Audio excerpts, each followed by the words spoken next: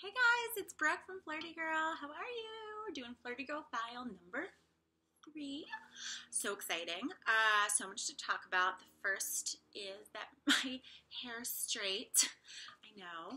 Uh, a lot of people ask me how I get that crazy bedhead thing I rock a lot. Um, the answer is I don't wash it for days. I put a curling iron in it and then I pray that it looks decent.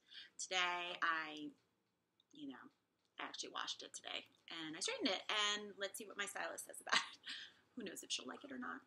She'll have something to say. Uh, let me know. What do you think? Do you like it straight? Do you like it curly? What do you like? Uh, okay, so what are we gonna talk about? Did you see on Facebook how I posted the Bustle Boudoir behind the scene video? The girls at Bustle um, did a boudoir shoot they each had one and they videoed behind the scenes and they talked to the girls about it before, you know, what they were nervous about, during, and after.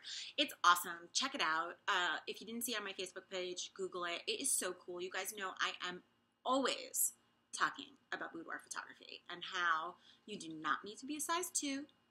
These girls are not size two. You do not need to be a model. These girls are not models. Um, but you need to do it, guys. It is so empowering. It is so awesome to see yourself in this new way, right? Like this really sexy, beautiful way that maybe you don't always get to see. I, I, I think that our husbands see us like that a lot, you know, because they they love you. Uh, but we are so hard on ourselves and we are so we're so mean to ourselves. Um, and the boudoir photography experience is a chance at self love. It is a chance to own your beauty and your femininity and you know all the beautiful things that we don't see about ourselves every day and in doing that it becomes this like really empowering awesome really cool thing and almost everybody comes to me to do boudoir photography and they say, "Oh, it's my husband's birthday. It's his, and it's our anniversary, blah." blah. And every single one of them leaves here being like, "You know what? I did that for me." And that is totally true. It happened to me when I did my first boudoir shoot. I mean, I've done a, a, bunch of them since then, but that first one, I thought I was doing it for Lumberjack. No, no, no, no. I actually did it for me, and it changed my life. I know that sounds crazy, but sometimes you just need to see yourself. As probably everyone else already does. Uh, it can turn a switch in you, and it's a beautiful thing. It's a testament. It's something to be able to look at and say, God, this is this is a part of who I am beautiful. Do it. If you don't do it with me, that's totally cool. Go find a photographer that you love and go do it. At least at one point in your life. Do it. Okay, what else are we going to talk about? Halloween is coming. I have openly talked about how I'm super interested in role play. I have never done it, but I really want to. I think there's something very cool and sexy and like naughty about it. The only problem is Lumberjack is uh, he like he could not be less interested for real. Um, he's not into it. But you know what? I say, I don't care. There's this great guy on Instagram who responded when I posted um, about doing some role play, and he was like, "Look, I could tell you what men really want, but go do what you want. Like, go dress up and be what you want. Because whether Lumberjack says in advance that he's into it or not, he will be when he sees you. And you know what? He's right. That guy is right. That guy rocks. Um, I'm going to do it because I want to do it and I think it's hot. And I promise you, Lumberjack's going to come along for the ride. So, what am I going to be, you ask? Should come as no shock to anyone, but I'm going to be French maid. Why? Because it's pretty and it's feminine and it feels like lingerie, which you know I love. Love me some lingerie. So here it is. I went to Victoria's Secret yesterday and I bought it. It's to be super cute. I'll show you a picture of what I look like in it, even though probably don't want to see that. I don't look like the model, but I think it's gonna be really cute. I'm like really excited about it. Um, I'm gonna do it probably this weekend, so stay tuned for the report.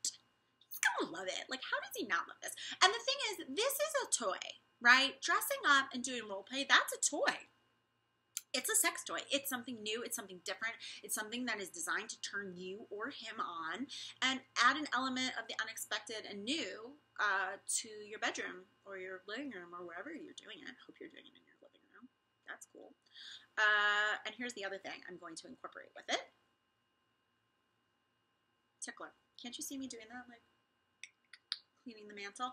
That's not really a cleaning tool, and it's not meant for that. This is a tickler.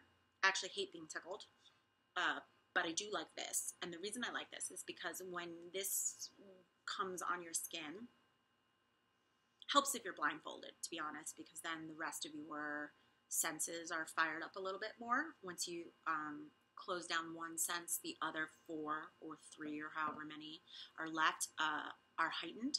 So if you're blindfolded and you're doing this, that means your sense of touch and sensation is going to be stronger.